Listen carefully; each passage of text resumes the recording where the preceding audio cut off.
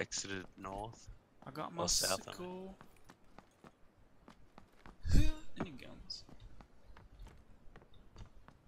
I will find. Oh. Not sure. Ah! There's a guy down here. Fuck.